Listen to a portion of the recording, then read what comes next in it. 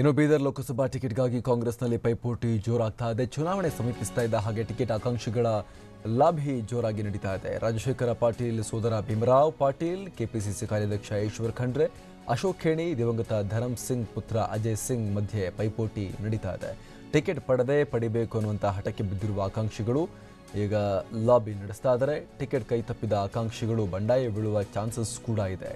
ಲೋಕಸಭಾ ಟಿಕೆಟ್ಗಾಗಿ ಬಹಳ ಬಹಳ ಪೈಪೋಟಿ ಇದೆ. ಕೆ ಪಿ ಸಿ ಸಿ ಕಾರ್ಯಾಧ್ಯಕ್ಷ ಈಶ್ವರ್ ಖಂಡ್ರೆ, ಅಶೋಕ್ ಖೇಣಿ ದಿವಂಗತ ಧರಮ್ ಸಿಂಗ್ ಪುತ್ರ ಅಜಯ್ ಸಿಂಗ್ ಇವರೆಲ್ಲರೂ ಕೂಡ ತೀವ್ರ ಪೈಪೋಟಿಯನ್ನು ಈಗ ಲೋಕಸಭಾ ಟಿಕೆಟ್ಗಾಗಿ ನಡೆಸ್ತಾ ಇದ್ದಾರೆ. ಟಿಕೆಟ್ ಪಡೆದೇ ಪಡಿಬೇಕು ಅಂತ ಹಠಕ್ಕೆ ಬಿದ್ದಿದ್ದಾರೆ ಎಲ್ಲ ಆಕಾಂಕ್ಷಿಗಳು ಅನ್ನುವಂಥ ವಿಚಾರ. ಟಿಕೆಟ್ ಸಿಕ್ಕಿಲ್ಲ ಅಂದರೆ ಬಂಡಾಯ ಏಳುವ ಅಪಾಯ ಕೂಡ ಇದೆ ಅನ್ನುವಂಥ ವಿಚಾರ. ಡಾಕ್ಟರ್ ಅಜಯ್ ಸಿಂಗ್ ಅಂತೂ ಆಲ್ರೆಡಿ ಮಂತ್ರಿಗಿರಿ ಸಿಕ್ಕಿಲ್ಲ ಅಂತ ಬಹಳ ಬಹಳ ನೊಂದು ಹೋಗಿದ್ದಾರೆ. ಒಂದು ಹಂತದಲ್ಲಿ ಬಂಡಾಯಗಾರರ ಪಟ್ಟಿಯಲ್ಲೂ ಕೂಡ ಅವರ ಹೆಸರು ಸೇರ್ಕೊಂಡ್ಬಿಟ್ಟಿತ್ತು. ಬಳಿಕ ಅವ್ರು ಕ್ಲಾರಿಫಿಕೇಶನ್ ಕೊಟ್ಟರು ನಾನು ಸೇರಿ ಬಂಡಾಯಗಾರರಲ್ಲೇ ನಾನಿಲ್ಲ ಅಂಥೇಳಿ. ಜೊತೆಗೆ ರಾಜಶೇಖರ್ ಪಾಟೀಲ್, ಸಹೋದರ ಭೀಮರಾವ್ ಪಾಟೀಲ್ ಕೂಡ ಇದ್ದಾರೆ. ಈಶ್ವರ್ ಖಂಡ್ರೆ ಕೂಡ ಆಕಾಂಕ್ಷಿ. ಎಲ್ಲಕ್ಕಿಂತ ಮಿಗಿಲಾಗಿ ಮಿಸ್ಟರ್ ಖೇಣಿ ಕೂಡ ಆಕಾಂಕ್ಷಿಯಲ್ಲಿ ಮತ್ತಷ್ಟು ಮಾಹಿತಿಯನ್ನು ಕೊಡ್ತಾರೆ ನಮ್ಮ ಪ್ರತಿನಿಧಿ ಸುರೇಶ್. ಸುರೇಶ್ ಬೀದರ್ ಟಿಕೆಟ್ಗಾಗಿ ಬಹಳ ಪೈಪೋಟಿ ಆಲ್ರೆಡಿ ಶುರುವಾಗ್ಬಿಟ್ಟಿದೆ ಅಲ್ಲಿ. ಸದ್ಯದ ಸ್ಥಿತಿಗತಿ ಹೇಗಿದೆ? ಯಾರು ಮುಂದಿದ್ದಾರೆ ರೇಸಲ್ಲಿ? ಯಾರು ಹಿಂದಿದ್ದಾರೆ? ಏನ್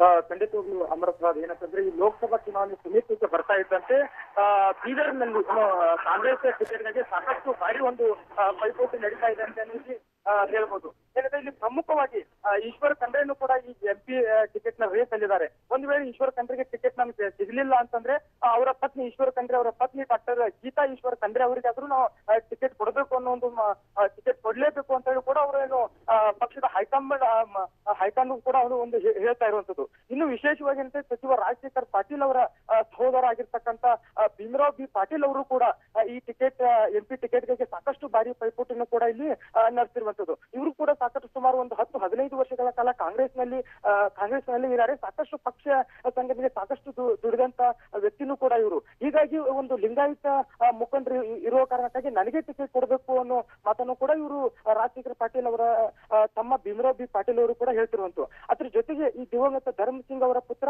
ವಿಜಯ್ ಸಿಂಗ್ ಕೂಡ ಈಗಾಗಲೇ ಸಾಕಷ್ಟು ನನಗೆ ಎಂ ಪಿ ಟಿಕೆಟ್ ಕೊಡ್ಲೇಬೇಕು ಅಂತಲೂ ಕೂಡ ಅವರು ಹೇಳ್ತಾ ಇದ್ದಾರೆ. ಯಾಕಂದ್ರೆ ಕಳೆದ ಎಂ ಎಲ್ ಎ ಚುನಾವಣೆಯಲ್ಲಿ ಏನು ನನಗೆ ಎಂ ಎಲ್ ಎ ಟಿಕೆಟ್ ಬೇಕಂತ ಸಾಕಷ್ಟು ಪೈಪೋಟಿಯನ್ನ ಮಾಡಿದ್ರು. ಆದ್ರೆ ಅವ್ರಿಗೆ ಎಂ ಎಲ್ ಎ ಸಿಕ್ಕಿರ್ಲಿಲ್ಲ ಹೀಗಾಗಿ ನಂತರ ಈಗ ಈ ಈ ಬಾರಿ ಸಾಕಷ್ಟು ಒಂದು ಪೈಪೋಟಿನ ಕೂಡ ಅವರು ಮಾಡ್ತಿರುವಂತದ್ದು ಯಾಕಂದ್ರೆ ನಾನು ಕೂಡ ಸಾಕಷ್ಟು ಕಳೆದ ಒಂದು ಹತ್ತು ಹದಿನೈದು ವರ್ಷಗಳ ಕಾಲ ಬೀದರ್ನ ಸಾಕಷ್ಟು ಸಾಕಷ್ಟು ಒಳ್ಳೆ ಒಳ್ಳೆ ಕೆಲಸನೂ ಕೂಡ ಮಾಡಿದ್ದೀನಿ. ನನಗೆ ಯಾವುದೇ ಕಾರಣಕ್ಕೂ ಟಿಕೆಟ್ ಈ ಬಾರಿ ಇಲ್ಲಿ ಸಾಗಲೇಬಾರದು ಅಂತ ಕೂಡ ಅವರು ಕೂಡ ಒಂದು ಈ ಪೈಪೋಟಿನ ಮಾಡ್ತಿರುವಂತದ್ದು ಅದ್ರ ಜೊತೆಗೆ ಅಶೋಕ್ ಸೇನಿ ಅವರು ಕೂಡ, ಅಶೋಕ್ ಸೇನಿನೂ ಕೂಡ ನನಗೂ ಈ ಬಾರಿ ಎಂ ಪಿ ಟಿಕೆಟ್ ಕೊಟ್ರೆ ನಾನು ಈ ಭಾಗದಲ್ಲಿ ಗೆದ್ದೆ ಗೆಲ್ತೀನಿ ಅನ್ನೋ ಮಾತನ್ನು ಕೂಡ ಅವರು ಹೇಳ್ತಿದ್ದಾರೆ. ಯಾಕಂದ್ರೆ ಕಳೆದ ಎಂ ಎಲ್ ಎ ಚುನಾವಣೆಯಲ್ಲಿ ಸಾಕ ಎಂ ಎಲ್ ಎ ಚುನಾವಣೆಯಲ್ಲಿ ಅವರನ್ನು ಸೋತಿದ್ರು. ಸೋತ್ ನಂತರವಾಗಿ ಅವರನ್ನು ಈಗ ಸಾಕಷ್ಟು ಒಂದು ಪೈಪೋಟಿನ ಮಾಡ್ತಿರುವಂತದ್ದು ಅಶೋಕ್ ಅವರು ಹೀಗಾಗಿ ಒಟ್ಟಾರೆಯಾಗಿ ಇಲ್ಲಿ ಸುಮಾರು ಘಟಾನುಘಟಿ ಪ್ರಮುಖ ಒಂದು ಈ ನಾಲ್ಕು ನಾಯಕರು, ಘಟಾನುಘಟಿ ನಾಯಕರೇ ಇವರು.